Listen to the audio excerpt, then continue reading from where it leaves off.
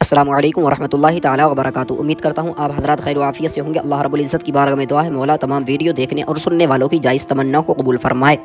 प्यारे दोस्तों, आज की इस वीडियो में हम आपको बहुत ही ज़्यादा मुबारक और बहुत ही ज़्यादा पुरअसर वजीफ़ा बताने वाले हैं, जो बहुत ही लोगों का आजमाया हुआ वजीफ़ा है।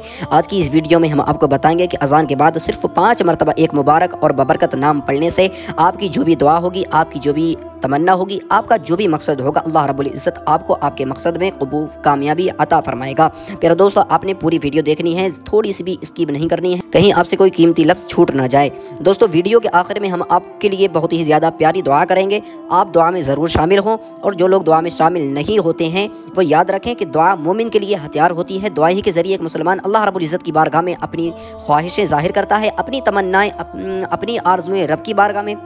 अर्ज़ करता है और अल्लाह रबुल्ज़त उसकी जायज़ तमन्ना को कबूल फरमाता है, उसके मकसद में कामयाबी आता फरमाता है। दोस्तों, अपनी ज़बान से आमीन ज़रूर कहें और कमेंट में भी ज़रूर अमीन लिखें। न जाने किसी एक की ज़बान से निकला हुआ अमीन अगर अल्लाह रबुल्ज़त की बारगाह में कबूल हो गया तो हमारा और आपका सबका बेड़ा पार हो जाएगा। दोस्तों, चलते हैं वजीफ़े का तरीक़ा बताते हैं कि आपने अजान जब सुननी है तो अजान के बाद में सिर्फ़ पाँच मरतबा इस कलिमात को पढ़ना है। आप चाहें मस्जिद में हो या घर हो या बाहर हो, आप चाहें लेटे हुए हों या फिर अपनी किसी सवारी में बैठे हुए हों।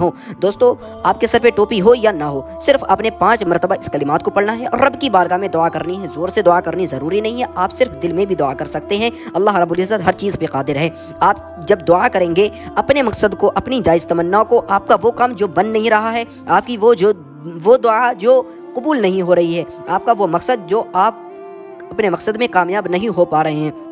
वो मकसद आप अपने दिल में रखें और रब की बारगाह में जब दुआ करेंगे, अल्लाह रब्बुल इज़्ज़त इस मुबारक नाम के सदक़े में आपकी दुआ को, आपके मकसद में कामयाबी आता फरमाएगा, दुआ को कबूल फरमाएगा, आपके काम को बना देगा।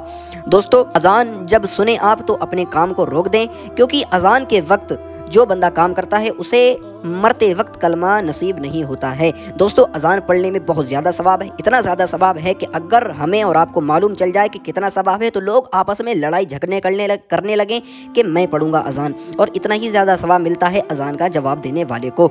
अगर मोजिन अजान कह, कहता है अल्लाह अकबर कहता है तो आपने भी आहिस्ता से अल्लाह अकबर कहना है। जब मोजिन अशहद कहे आपने भी आहिस्ता अशहद कहना है। अशहद मोहम्मद रसूल कहे मोजिन तो आपने अशहद मोहम्मद रसूल आहिस्ता कहना है सल्लल्लाहु सल्लल्लाहु वसल्लम भी कहना है। दोस्तों, आपने इस तरीके से अजान के जवाब देने हैं और जब अजान मुकम्मल हो जाती है तो आपने तीन मरतबा दरुद पाक पढ़ना है।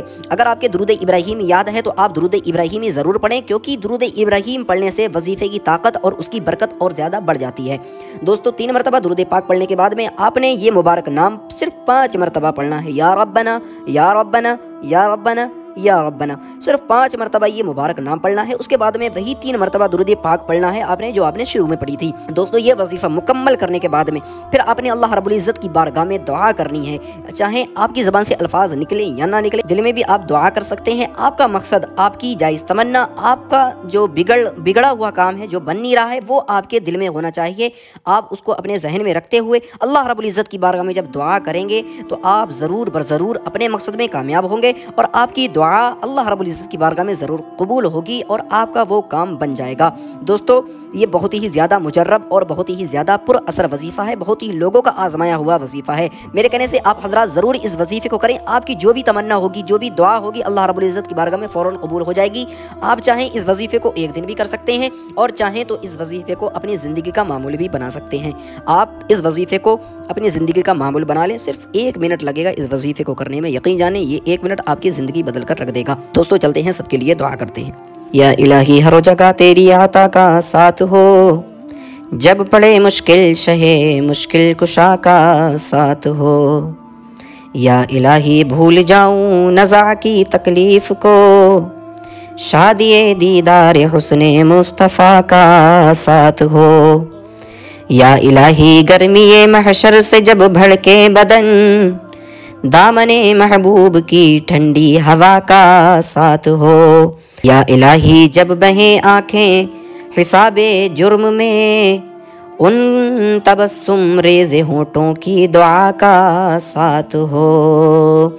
या इलाही जब सरे शमशीर पल चलना पड़े, रब सलीम कहने वाले गमजदा का साथ हो। या अल्लाह रहमान रहीम। ए पाक परवरदिगार आलम हमारे जो भी मुसलमान भाई बहन जो वीडियो देख रहे हैं ये जो वीडियो सुने, मौला तमाम की जायज़ तमन्ना को कबूल फरमा। या अल्लाह तमाम के मकसद में कामयाबी आता फरमा। या अल्लाह अपने महबूब के सदक़े में जो हमारे भाई बहन काम बिगड़े हुए हैं, या अल्लाह उनके कामों में उन्हें कामयाबी आता फरमा। या अल्लाह जो बेरोज़गार हैं, उन्हें रोज़ी आता फरमा। या अल्लाह अपने महबूब सल्लल्लाहु अलैहि वसल्लम के सदक़े में जो हमारे भाई बहन घर में बैठे हुए हैं, अच्छे रिश्ते की तलाश में मौला उनके लिए बेहतर और मुनासिब रिश्ता आता फरमा। या अल्लाह अपने महबूब सल्लल्लाहु अलैहि वसल्लम के सदक़े में हमारे भाई बहन जो वीडियो देख रहे हैं, जो इस वजीफ़े को करें, या अल्लाह उनमें से अगर कोई बे औलाद है, या अल्लाह उन्हें नेक, सालेह औलाद अता फरमा। या अल्लाह अपने महबूब सल्लल्लाहु अलैहि वसल्लम के सदक़े में हमारे भाई बहन जो वीडियो देख रहे हैं, या अल्लाह उनके ख़ानदान से अगर कोई इस दुनिया से चला गया, मौला उन्हें जन्नतफरदौस में अला से अला मकाम अता फरमा, उनके दराजात बुलंद फरमा। आमीन सुमामीन आप हजरात भी कमेंट में ज़रूर आमीन लिखें और अपनी ज़बान से भी कहें, अगर एक की भी आमीन अल्लाह रबुल्ज़त ने कबूल कर ली तो हमारा और आपका सबका बेड़ा पार हो जाएगा। दोस्तों, ये थी आज की वीडियो। अगर आपको वीडियो अच्छी लगी हो तो वीडियो को दिल से लाइक करें और सदक़ी की नीयत से, सवाब की नीयत से वीडियो को आगे शेयर करें। अगर आप हमारे चैनल पर नए हैं तो चैनल को ज़रूर सब्सक्राइब करें। तब तक के लिए अस्तफ़रुल्लाह ताला रब्बी मिन कुल्ली ज़म्मी व इलैहि। ला इलाहा इल्लल्लाहु मुहम्मदुर रसूलुल्लाह सल्लल्लाहु अलैहि